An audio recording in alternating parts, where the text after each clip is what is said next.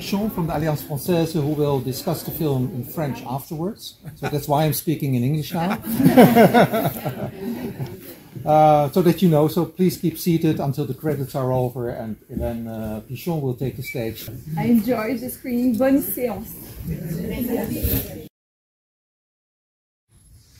Nous sommes ravis en tout cas de, de, pouvoir échanger un peu avec vous sur ce, ce magnifique film. Alors, euh, je ne sais pas si ça vous parle un petit peu ce qu'il a voulu faire. Pourquoi il a voulu faire ce trajet, enfin dans le film Ils n'ont pas été euh, soumis au changement euh, accéléré. Euh, désertique. désertique ouais. Ouais, ça, c'est une il n'y a plus de médecins, il n'y a plus d'infirmières. Les... Saint-Julien, c'est la deuxième île d'Hauteville, il n'y a plus de services d'urgence certains jours, ça n'a plus de moyens.